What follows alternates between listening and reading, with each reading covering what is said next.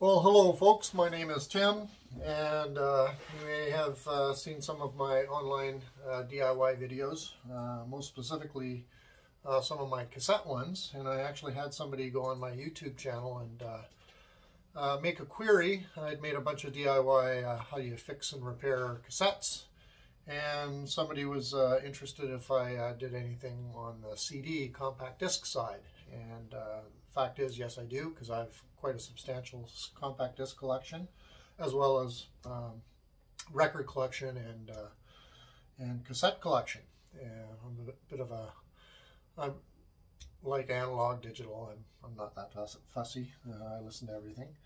And uh, one of the questions that person had was, um, he has uh, um, like cassettes where you have uh, cassette tapes where you don't have the uh, the J cards for them uh, I showed a way of uh, actually uh, reprinting them and making cassettes look like almost new if you've got the original cassette but you're missing the the J card inserts on the the cases. And so likewise with compact discs, um, you can see I've got a whole stack of uh, discs here that uh, these are all crappy discs, so I'm not really concerned about how I handle them, um, except for this one. I like that one.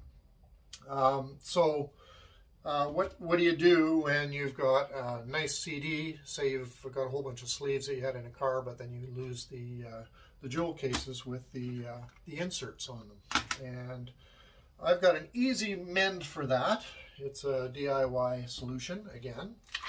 And uh, for this, uh, what you need, of course, is the original compact disc and you need some blank uh, CDs, which you can get online, or if you have some crappy CDs that you don't like, you can rob the jewel cases from them and, and use those as uh, uh, donor cases for the uh, uh, jewel case for the CD that you uh, are missing a, a, jewel case and liner notes for. So what I'm going to do is I'm going to take a, a, CD that I have a liner, proper inserts for the, the jewel cases and everything. So as you can see, we've got Fleetwood Mac Rumours with a nice uh, CD inside. And uh, what we'll do is take that CD out. And if we pop the, uh, the jewel case off, you can see the you have the backing liner for the, uh, the jewel case, which is there, which has the songs and all that sort of stuff, plus the, uh, the two spine uh, tabs that are folded out. And then, of course, you have the the insert liner. And uh, this is the little, this, this one particular one is in booklet form. I normally don't reproduce the whole booklet, although you can if you decide to. Uh, for me, I just like to have it so I can see it on the shelf and see what disc it is. Um, but you can also reproduce that. And as you can see, uh, both of these fit just perfectly on an 8.5 uh, inch sheet of paper. So what I'm going to do is I'm going to go online, show a method of going online uh, using Discogs, because uh, they've got a huge database of, uh, of um, artwork and uh, graphics for both cassettes, albums, or you know, albums, and also compact discs. And uh, I think maybe even 8-track as well. Who knows? Never uh, really dabbled in 8-track, so I don't know. Um, so as you can see, you can actually reproduce this. You can, you know, in this case, I could scan it and reprint it and have a perfect liner or, or anything. But what do you do when you don't actually have these spines here or these inserts for the, uh, the jewel case? So uh, what I'm going to do is I'm going to go online and uh, I'm going to do a screen capture off my computer. I usually use um, a Microsoft Publisher just because uh, it's a WYSIWYG, or what you see is what you get kind of graphics solution. So you can actually just start with an 8.5 blank sheet of paper. Then what you want to know, of course, are your dimensions, so you can scale it appropriately. And in this case, it's about four and three quarter inches that way, and uh, high or tall, I guess, and about four and three quarters, so it's basically square. So it's four, a little less than four and three quarters by four and three quarters here. And then this one is, uh, at the longest uh, measurement, is six, or uh, five and uh, seven eighths. and you can do this metric as well if you if you so choose. And just uh, uh, eight, so it's uh, four and nine sixteenths this way. So as long as you know those, what you can do you can do is build a build a, a box basically, and then what you're going to do is copy and paste the graphic and make sure it's sized to fit the exact dimensions of the inside of the case and the back side of the case. So all you're doing is reproducing this uh, geometrically um, on your sheet when you're doing it. I've got it made a template so I don't have to do all of these measurements. I've just got one sheet that I have uh, saved and then uh, what I do is I just superimpose the graphic over it and scale it to the proper size for both the, uh, the front and the back of the uh, CD jewel case. So we'll do that. We'll make a, a nice copy and I'll show you how darn good it looks, you know, compared to the original. Uh, so we'll go to the computer and show you that part. Well, here we are back again. I've uh, had to record this a second time uh, after I did all the other uh, video uh, stuff because I'd done one long video explaining how to do all of this and found out that the uh, my screen capture software here doesn't follow me when I'm opening up different windows and, and different applications. So I'm going to have to do this sort of one application at a time. In this case, the browser part first. Doesn't matter what browser you're using. In this case, it's uh, I'm using Google Chrome. You can use, uh, you know, if you're an, an, uh, an, Apple guy, you can use their, their native uh, um, web browser, or you can use uh, Edge or whatever. Anyway, uh, we're just going to go to the Discogs website, and that pops up pretty quick because I've been there many times. And what we're going to do is search for the CD title that uh, we're trying to find a uh, front cover, back cover, and, uh, and liner notes for. Uh, so in this case it was Fleetwood Mac Rumors that I used as my sample CD. And instead of just typing, well I could just type Fleetwood Mac Rumors here and type CD so that only the compact disc options come up. Or what I do is I just use the uh, the code that's on the spine of the uh, the CD, which is the I think it's Warner Brothers for this one, which is W23010, and then I hit enter, and then you'll see that uh, there's a number of options that come up, and you'll see that other CDs have that same code. Um, so it's not unique to Fleetwood Mac Rumors because it's so small. And uh, what I do know about this uh, on the liner notes, it says it's a Canadian, it's made in Scarborough, Ontario. So we want the Canadian version, not a US or Japanese or whatever. So we're going to search by country. And it gives me four or so titles here. I know that this one actually, I clicked on this one, it doesn't actually have the graphics embedded, but uh, of the four here, this is the best one. So you can pop in and look at what they, what options they have. But in this case, you click on the rumors title here, and then you'll see this underneath the graphic. You'll see the, uh, it has all the track listings, the, uh, the information on the recording itself, where the, uh, the country of that CD is, etc. And then the, uh, this is your label code right here, which is W23010, which is what I used to find it. And uh, underneath this graphic here, you can see this uh, More Images tab. So we're going to click on that, and now you can actually see uh, somebody is, along with the uh, CD information, has also um, uh, scanned the title page, the back page, which you can see here, because it's got the, uh, the spine uh, codes here and labels, and also a, scan of the actual CD itself, and then also the booklet that's attached to the back, um, the, the front cover. this is all sort of wrapped together as one booklet. I myself don't bother with the booklet, although if uh, you're a little bit more anal than I am, you can actually print these all out to scale and then uh, bind them together, and that'll be your front uh, front cover. And then you also have the back cover here, which is uh, shown there. So uh, once you do, once you get to this stage, what you're going to do, and I've got to actually stop the recording once I capture the uh, um, the front cover uh, I'm going to copy that and then I'm going to open up Microsoft Publisher. So what I'm going to do is I'm going to uh, copy these over and then I'm going to start another recording so you can actually see what I'm doing in Publisher. Because if I open up Publisher here, this it stays in the background and you won't actually see it.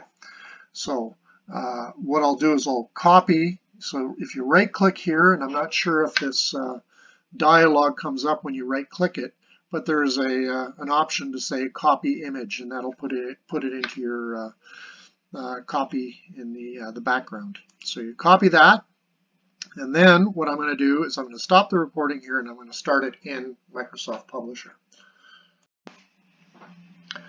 Okay. Okay, now we're uh, back into, now I've opened up Publisher. This is the, uh, the opening screen. So uh, I can either choose to uh, create a new blank page, or in this case, there's a list of previous Publisher documents that I've created in this list, and that usually shows the most recent, or you can just open from a location where you know where that was using this open dialog. So in this case, I made a uh, CD jewel case cover template uh, document. So instead of making the, bl the blank and going through all of that, I'll, you, will see quickly what I mean. Uh, here's the template that I created. So I've now opened that up and you see the, uh, this one actually has a bunch of uh, back covers superimposed on it. And I just randomly picked a few uh, covers to use. Um, one is the front cover and the other is the back cover, and they're they're scaled to size. So the first, um, when I was in the other application in the website on Discogs, I copied the uh, the front cover. So I'm going to just go paste here, and that now pastes that in. And what I can do is line that up the top left corner, and it looks like it's a little, there we go, a little higher. And then what I do is I'll scale this down smaller than the, uh, the backing uh, template. And now what it'll do, I'll do is I'll scale this to uh, the exact dimensions of that jewel case.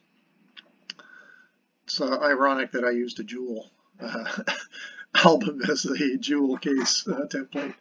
Anyway, this one was, I think, a Britney Spears for that I made for somebody.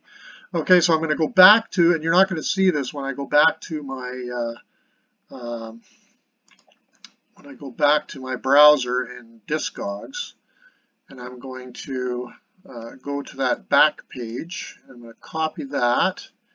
I don't believe you're going to see this, so now I'm back into the uh, publisher, and I'm going to paste that in, and uh, again I'm going to line up the top left corner and top left side, and then we're going to downsize it and then I'm going to size it back up to the actual size of the graphic and then I can drag one dimension there and just make sure it properly lines up. I can actually make it bigger here so you can tell if it's lining up properly. So let's do that again. And there we go. So now I have uh, both the front cover this one needs to go a little bit more over. Uh, to scale for the front cover and the back cover.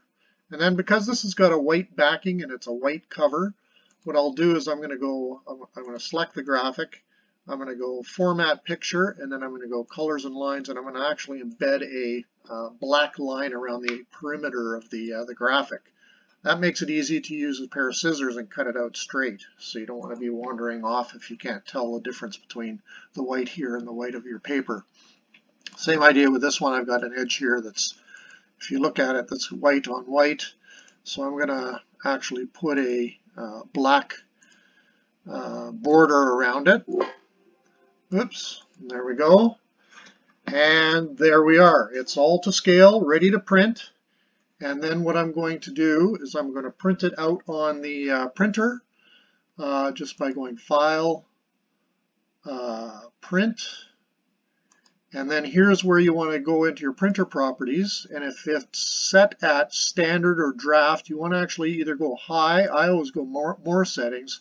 And I drag the quality right up there so that you're making a really high quality print. Um, and you'll see that uh, the, the paper that I have here is not that great. I, I just got uh, recycled paper right now. I have I usually use a high bond, heavy bond, uh, very white paper. Uh, it's a little more expensive than the uh, other paper if you're just you know printing lots of things to read. Uh, for doing graphics, you want a really good quality paper so that they print out really, they really pop when they print out. I won't be able to show you that because I don't have really good high quality paper uh, right now. I got to go and buy some. So here we go, and then you print it. I'm not going to print it here because we'll pick up where I, my other video left off. And there you have it. Uh, there's your template on an 8.5 inch sheet, 8.5 uh, by 11 uh, sheet, and uh, ready to go. I didn't have any paper, so the print job uh, stalled, so I put some new paper in it. Now this is only uh, really low grade paper, so I usually use a nice shiny gloss, very, very white paper. So this is not going to turn out as, as ideal. I got to go get some more uh, really good, uh, good cardstock uh, or heavy bond uh, pure white paper. Uh, this is recycled, so it's kind of gritty. Uh, it's not great paper, but it'll do. It'll, it's enough to show you what to do. So we'll push uh, print and uh, see the print job ha happening here. And because I printed it out on high quality, it's going to be really, really slow in printing. And these Megatank printers are really good because I've been using this for about seven or eight months and I do a lot of printing and I'm only down to about two-thirds or three-quarters of a tank of, on each of the, uh, the colors and the black uh, ink as you can see. So uh, these Megatank printers are really a big savings in, uh, in, in, ink costs, especially if you're doing a lot of things like that. I've made a lot of uh, cassette um, covers, and some of them you can't even tell. Like here's one.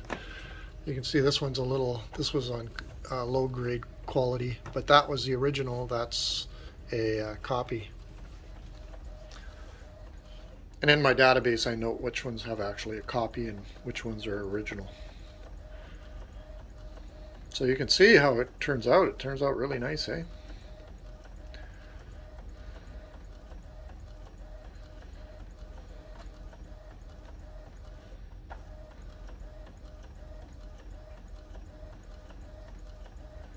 Very slow printing, but uh, very high quality.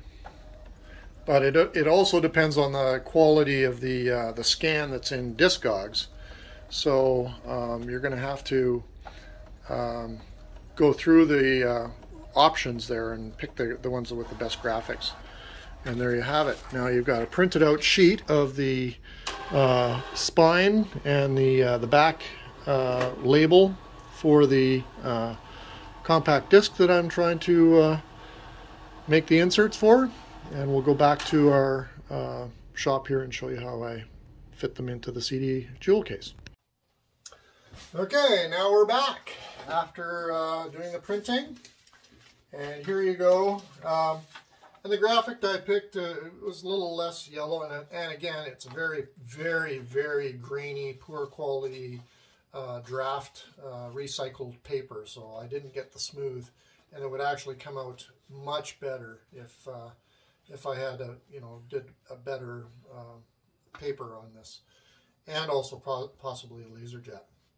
So this is actually one of the poorer quality ones that have, have turned out. But hey, that's all I've got here in the house right now. So got to get myself some good uh, quality heavy bond uh, paper because I just used up my last batch. So now what we do, um, if you have one of those cutters, you can do use those. I have one, but I find it's easy. I can just do it, you know, for these short lengths, I can cut it just as well in scissors. So, and then, and then heavy cardstock as well. This is flimsy paper, so obviously it's not going to be as stiff as, uh, as these papers. So with heavy cardstock, with pure white, it'll, it'll be nice and, uh, and rigid. So, uh, that's another reason with going, going with better quality paper. Now you just cut along those lines that I, those box lines that I put on. You can actually, when you cut it, you can't see them anymore. If you cut it properly. And we do that.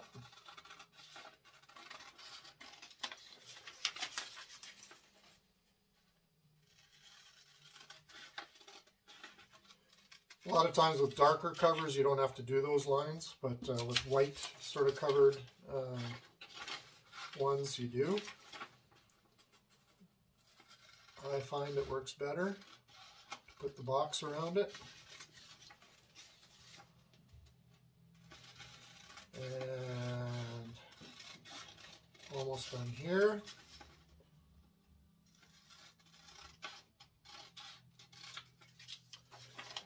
And last line to cut. I'm doing this quick, quickly. I do it more carefully usually. Okay, and then what I do is I get a steel ruler. Uh, these are the cat's meow for this. And what you do is you see the lines here, the, uh, the spine uh, labels here, and I line those up, and then I just make the bend using the edge of a steel ruler. And same with this one. Find the uh, line just above it, and we can make that so it's now you can take the jewel case. I picked one with uh, the uh, little things here are broken off, but uh, I got a bunch more over there. Actually, I'll take one of those instead. Yeah, that's a better one. So take the spine of that. Make sure it goes in properly, and you can see how it perf fits perfectly. And you can put your CD holder part in. Click it. And then uh,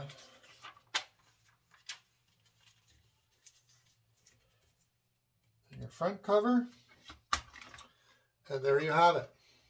One jewel case for your collection uh, until you can find a, you know, a, a, a good quality uh, replacement, which are difficult to do because people don't want to throw away their CDs to give you a, a nice uh, jewel case insert or liner notes.